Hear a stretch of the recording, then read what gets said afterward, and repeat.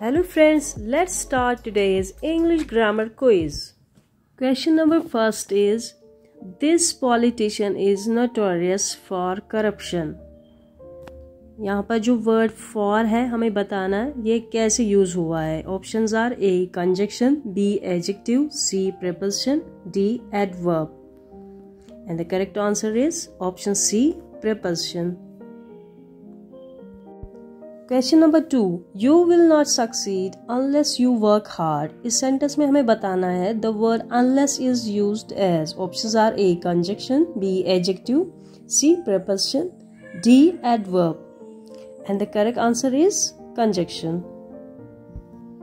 question number third she as well as her sister is married यहाँ पर बताना हमें as well as is use as option A conjunction B adjective option C preposition option D adverb and the correct answer is option A conjunction question number four is I would rather die than surrender तो हमें बताना है यहाँ पर then use हुआ है as which part of speech option are A conjunction B adjective C. Preposition D. Adverb.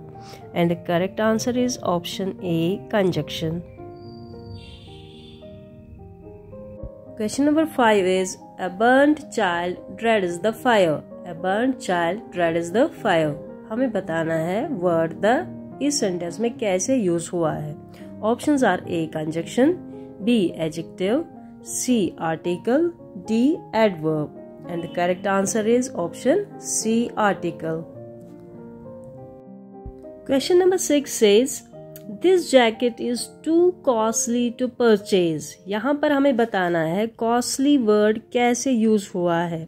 Options are A conjunction B adjective C preposition D adverb and the correct answer is option B adjective question number seven terrorist exploded the bridge यहाँ पर हमें बताना है the word exploded कैसे use हुआ है? And our options are A conjunction B adjective C verb और D adverb and the right answer to this question is option C the word exploded is use here as verb now question number eight she dyed her hair black यहाँ पर हमें बताना है died कैसे use हुआ है as which part of speech option are A verb B adjective C preposition D adverb and the right answer is option A that is verb Question number 9 is The thief jumped over the fence.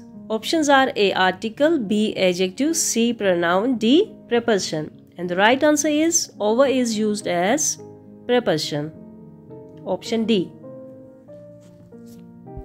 So tenth question is she had worn a blue dress. यहाँ पर बताना हमें worn use हुआ है as which part of speech and options are A conjunction, B adjective, C verb, D preposition. Worn is the third form of wear, so the correct answer is verb option C. Option C is correct answer.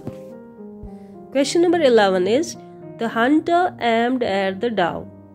The hunter aimed at the dove यहाँ पर हमें बताना है eight कैसे use हुआ है? Option are A article B adjective C pronoun D preposition and the correct answer is option D preposition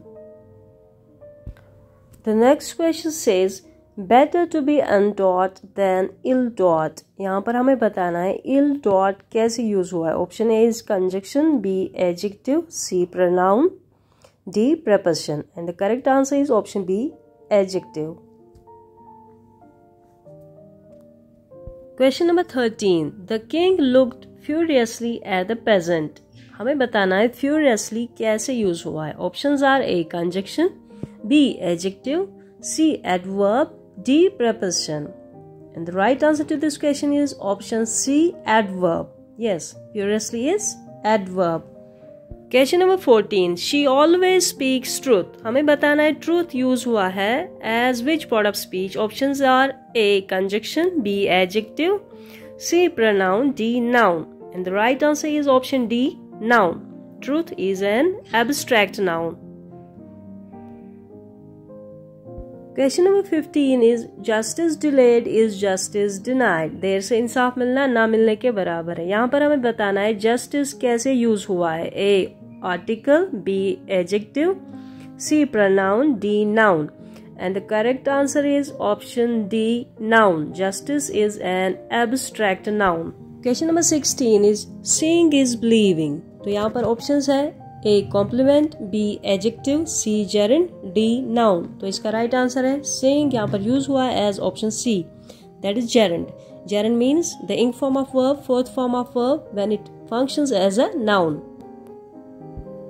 question number seventeen a drowning man catches at a straw यहाँ पर हमें बताना है ड्राउनिंग कैसे use हुआ है? Option are A gerund B infinitive C pronoun D participle इसका correct answer है ऑप्शन डी पार्टिसिपल वर्ब जब एक्ट करता है as an adjective question number eighteen a great talker is a great liar यहाँ पर बताना इज़ यूज़ हुआ है as which part of speech option are A article B verb C pronoun D noun and the right answer is option B verb is यहाँ पर use हुआ as verb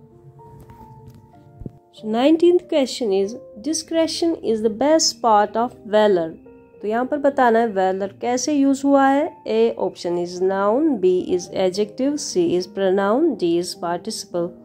And the correct answer is option A, noun.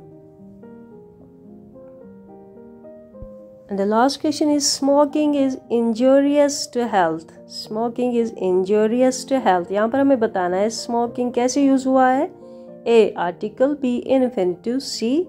Gerund D. Pronoun. And the right answer is option C. Gerund. Smoking is a verb and it is used here as a noun.